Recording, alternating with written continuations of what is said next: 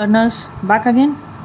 Uh, in last video we have discussed about the effect of substituent on acidity of phenol. Firstly we have discussed about the acidity of phenol then effect of substituent on acidity of phenol. And lastly we have discussed that electron withdrawing group. We have done electron withdrawing group effect on acidity of phenol how this group affected the phenol acidity. But today what we'll be taking we will be taking the electron donating group electron donating group. How this group will affect the acidity of phenol? As we know electron donating group are the group which withdraws electron electron donating group which releases yeah provides the electron.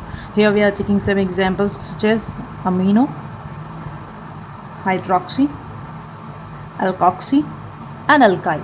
These are the electron donating group what happens when we said that phenoxide ions are more stable? If some electron donating group is present on this phenoxide group what will happen? If electron donating group is present on this phenoxide group phenoxide ion so here we are having phenoxide ion and some electron donating group is attached with this. What will happen to the ring? When electron donating group is attached to this phenoxide ion it will releases or donates its electron to this which will destabilize it. Destabilize the ion. Which ion? Phenoxide ion. This is due to the uh, it affects the intensity of this negative charge related to the phenol. So firstly we know that it donates the electron. Electron donation affects the negative charge which uh, makes the destabilizing the ion. And due to this destabilizing the acidic strength will decrease will decrease. We said that electron donating group will withdraw its electron. So due to that stability was attained. But here this electron donating group is donating the electron to this phenoxide due to which acidic strength will decrease. Why? For this we are taking some example. First i am taking the acidic strength of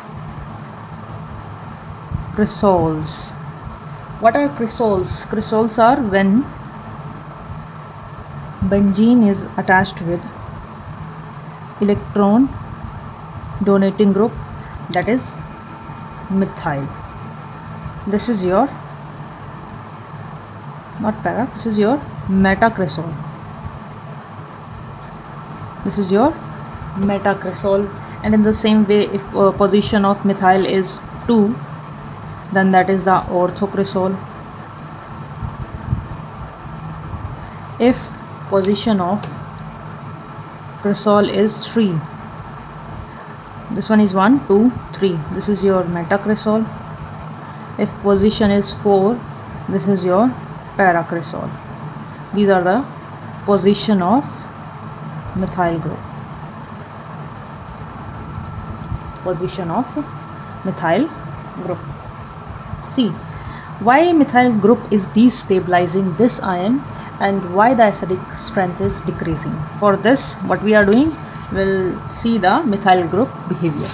So as well as as well as hyperconjugation effect. Hyperconjugation effects.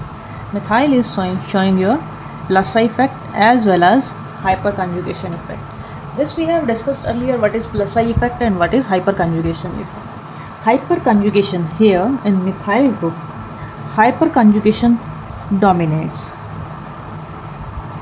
Hyperconjugation dominates. We said that hyperconjugation is also known as no bond resonance we have discussed about all this. Fine. Both effects this plus I effect and hyperconjugation what they play what role they play in the uh, stability of phenoxide ion what they do. Both effect increases the electron density in the OH bond. What happens see if electron density is increased on this OH bond then release of H positive is difficult. If release of H positive is difficult, that means that will become weak acid. Because we know what is acid which donates H positive ion. That is the acid we know. So weak acid is that which releases H positive. But if re this release is difficult, that means that becomes a weaker acid. Okay. And uh, if we take cresol ortho para and meta suppose we are having ortho para and metacresol this one is your ortho this one is your meta and this one is your para suppose we are having this one is your orthocresol. This one is your metacresol. And this one is your paracresol. If we compare the acidic strength of these what will happen? See hyperconjugation will operate more in ortho and para. Here hyperconjugation dominates in here also.